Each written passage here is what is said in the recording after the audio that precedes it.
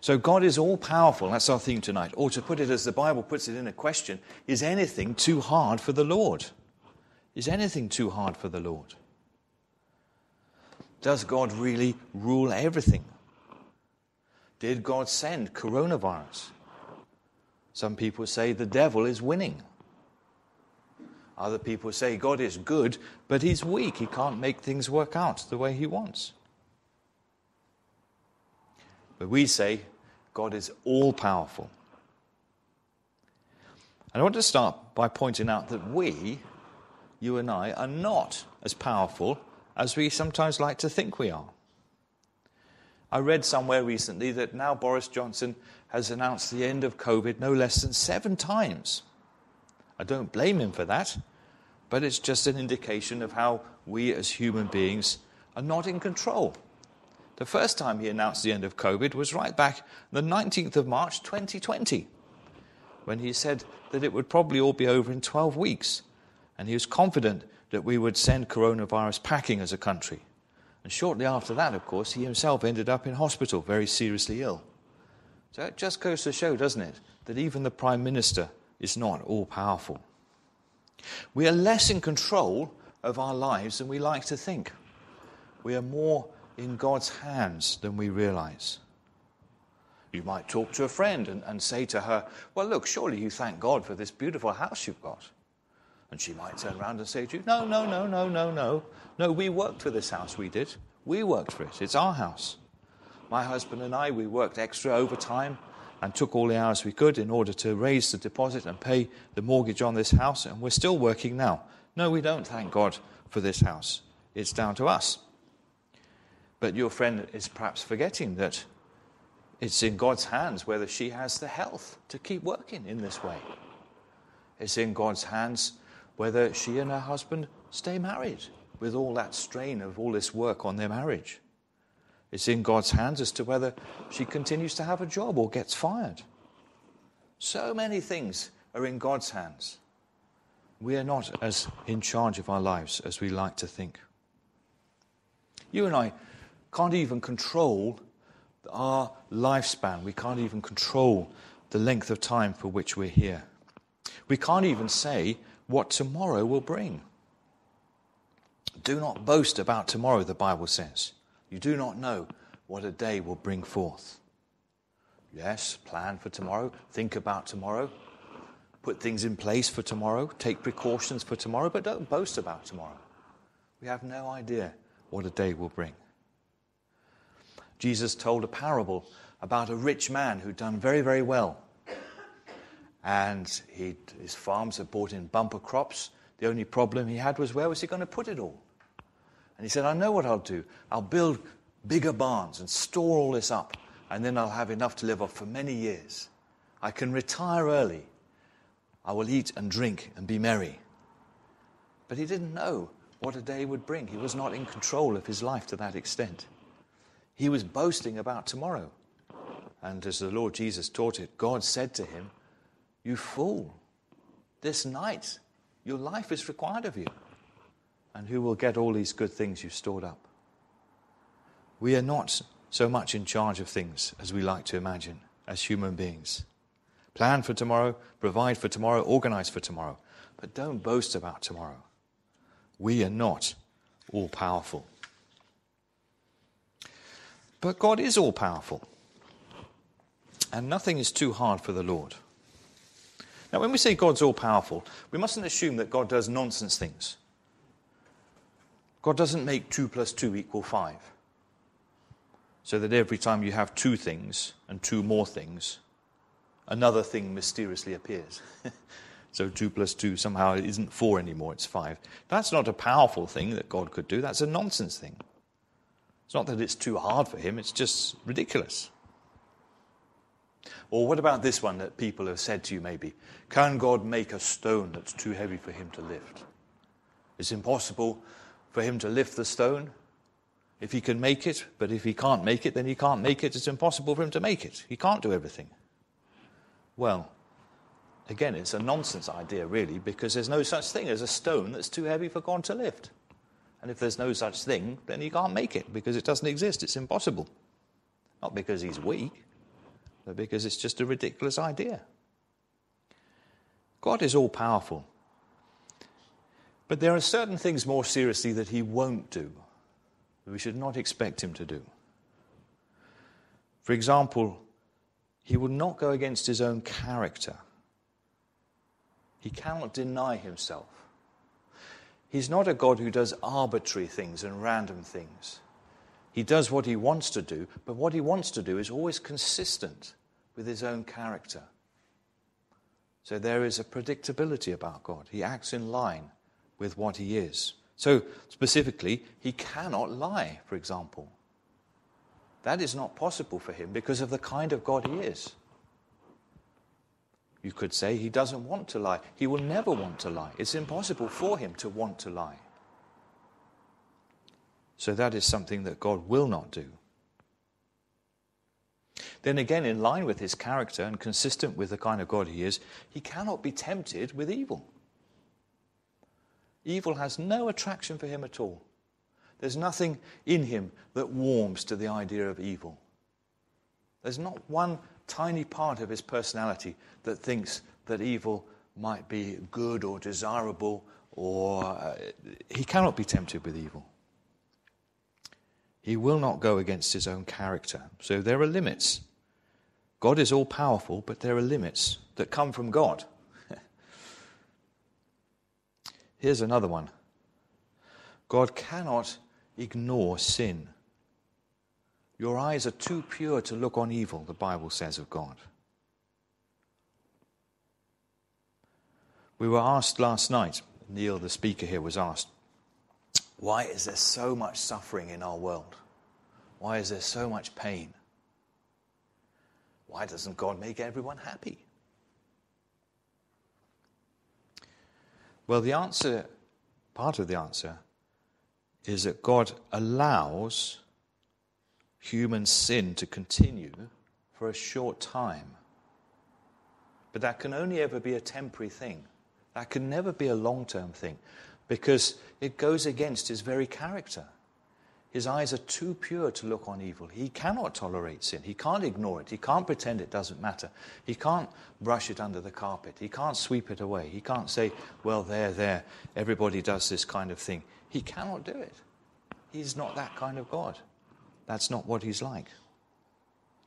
He tolerates human sin for a short while which explains why our world is so painful and difficult.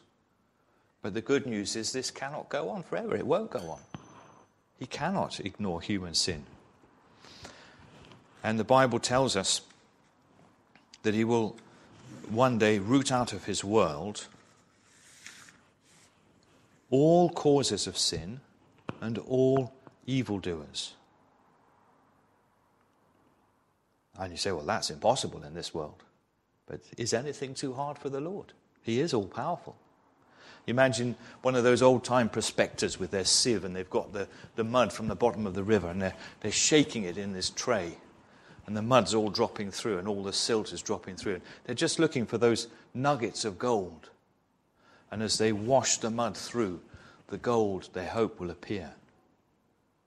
In the same way, God, with his almighty power, will separate out from his kingdom, all causes of sin and all evildoers. He must do it, it's his character. He can't allow this world to continue forever. He has too pure eyes to look on evil. And the result will be a beautiful, peaceful, harmonious world. A world which is the home of everything that's right, everything that's good. A world in which God is known and loved, and a world in which we are at home a world in which God Himself will console us for every grief and pain. But in order to get to that world, God must put forth His full power over His enemies who oppose Him. He must not let this opposition and hate for Him continue. It cannot continue. Every wicked person, every proud person, every selfish person, Every dishonest person, every angry person, every abusive person, every godless, unbelieving person will fall in that day. And you do not want to be one of them. You do not want to be the enemy of this all powerful God. You do not want to stand against him or oppose him. You do not want to fight against him or shake your fist in his face. Listen to this prediction of the future from the last book of the Bible.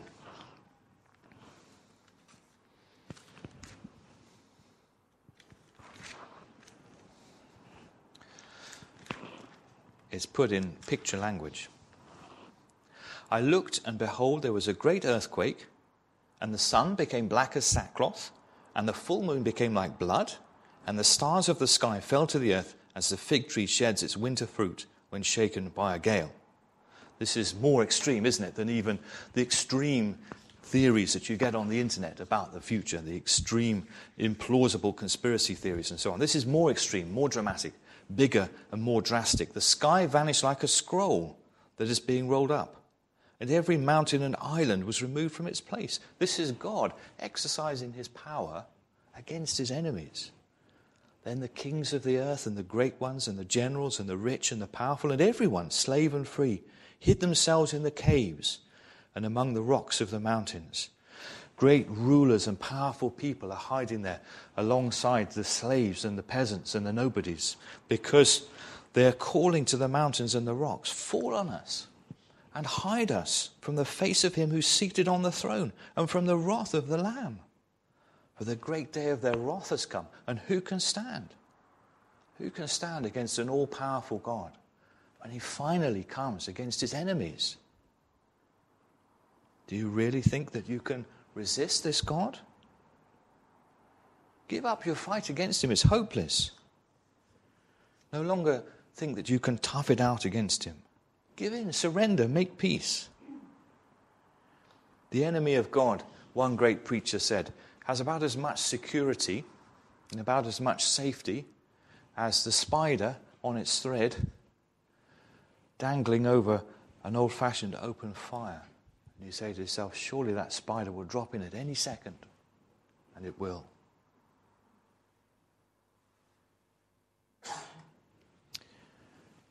But then again, can we save ourselves? We need His power for that.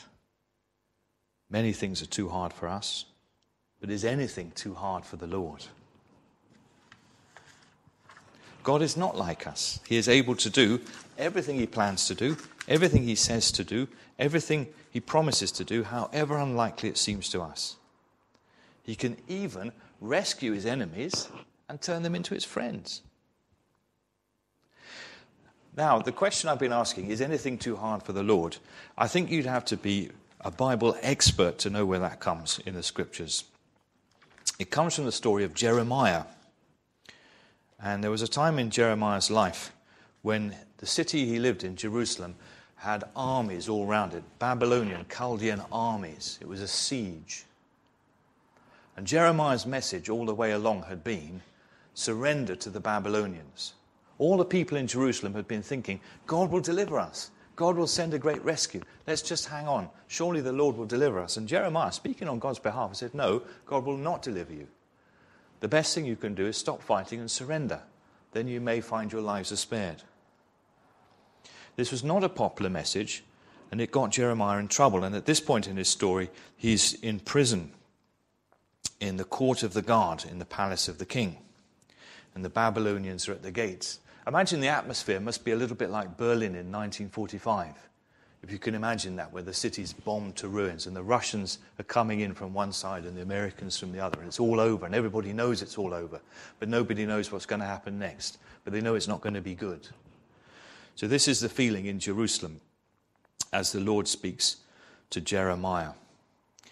And the Lord tells him to do a surprising thing. He says, You should buy a field. Your cousin is going to come to sell you the field in your hometown of Anathoth where the Babylonians are, and you should buy it from him.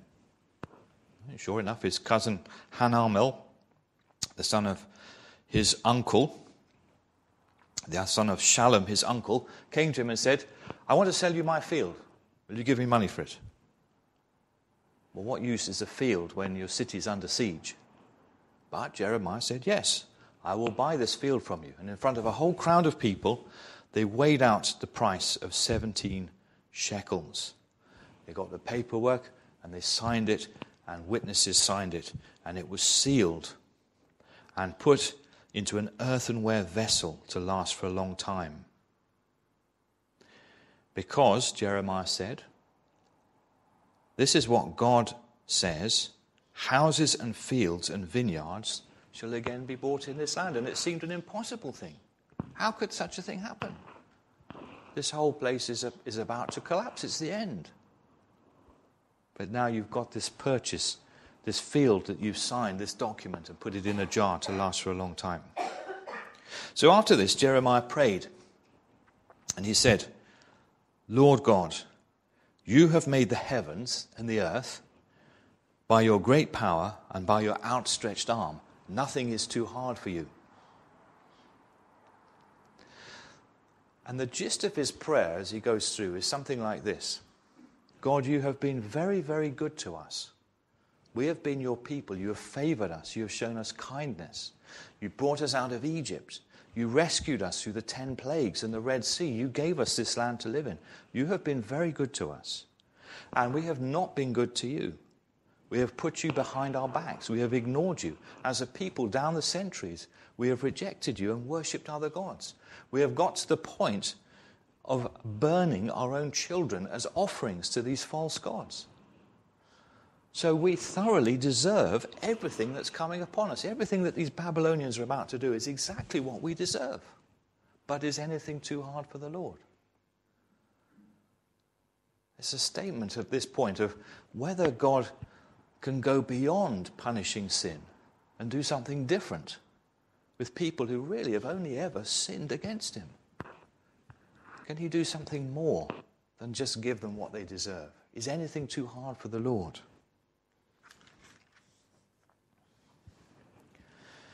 And then the word of the Lord came to Jeremiah in answer to this prayer Behold, I am the Lord, the God of all flesh. Is anything too hard for me? And the Lord goes on to explain that yes, the Babylonians will capture the city. Nebuchadnezzar, king of Babylon, will capture it. They shall come and set the city on fire. Everything that Jeremiah is worried about, everything that people are hoping won't happen, God says it will happen. The whole place will be set on fire. All those houses with their flat roofs, God says, all those flat roofs where you used to worship Baal, they'll all be burnt down. They will all go. All those drink offerings that provoked me to anger, they'll come to an end. Yes, God says it's true. The children of Israel and the children of Judah have done nothing but evil in my sight from their youth. They've done nothing but provoke me to anger by the work of their hands. This city has aroused my anger from the day it was built to this day. All of them are involved the kings, officials, priests, prophets, the men of Judah, the inhabitants of Jerusalem. They turn to me their, their back and not their face. That's a pretty rude thing to do, even to your, your sister or your husband, just to turn your back. But God says they've turned their back to me. And they should have come face before me to worship me. They've ignored me, they've put me behind their back. And I've taught them persistently, God says, and they never listened. They set up their disgusting gods in my temple. They built high places in the valley to offer up their sons and daughters to Moloch. And I never commanded this, and it never entered my mind that they should do this horrible thing. But is anything too hard for the Lord? Jeremiah's got his deed of this field in this clay jar. All these reasons why God should destroy this people and forget about them and just have done with them, just wipe them away. He would be justified in doing so. Nobody could complain. Nobody could say it's unfair. Nobody could say it's too harsh. All down the generations, they've pushed and pushed and pushed. They've never changed. But is anything too hard for the Lord? Yes, God says, after the disaster, I will gather the people back to this city from all the countries to which they've been driven. And they shall be my people, and I will be their God. I will give them one heart and one way that they may fear me forever. Is that too hard for God to do? To teach these people to love Him and fear Him and respect Him and worship Him? And he says, I will make with them an everlasting covenant to do them good. Well, that sounds as though it must be too hard for the Lord to do good to people who sin against him so continually. But he says he's going to make a covenant, a commitment, a commitment in which he commits himself. Here's another thing God can't do he can't break his promises, he can't break his covenants. If he commits himself, he's committed. To deny a covenant that he makes, that would be to go against his whole character. And he says, I'll make with them an everlasting covenant. I will do good. I will put the fear of God in their hearts that they may not turn from me. I will rejoice in doing them good, and I will plant them in this land in faithfulness. So there's going to be fields bought and sold again. The people will come back. After the disaster, after the judgment, the people will come back. There'll be the buying and selling of fields. Jeremiah or his descendants will be able to dust off that jar and dig out the deed that was signed and say, This field is ours. Our father or our grandfather, Jeremiah, bought it, and here's the deed of purchase. But it's not much more than that. God says there will be a full answer to this whole problem of sin. This whole issue between God and the human race, He will resolve. Not negatively in judgment and destruction, but positively in change and transformation and life, and people learning to fear the Lord, learning to worship God and love Him and serve Him from the heart. You say, well, that's impossible. But He says Himself, Is anything too hard for me? He is the all powerful one.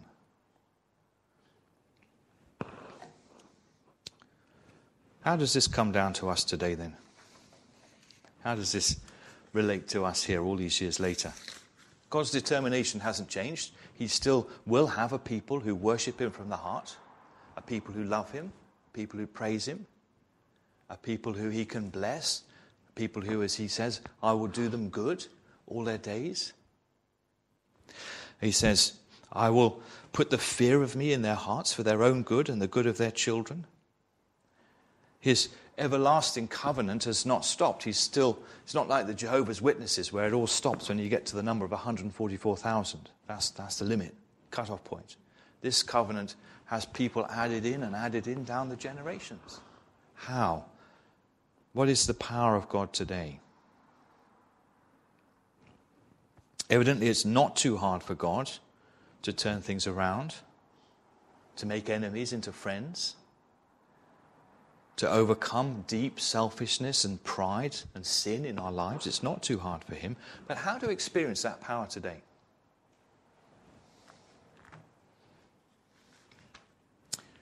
Later on in the Bible, we get this statement The word of the cross is folly to those who are perishing, but to us who are being saved, it is the power of God.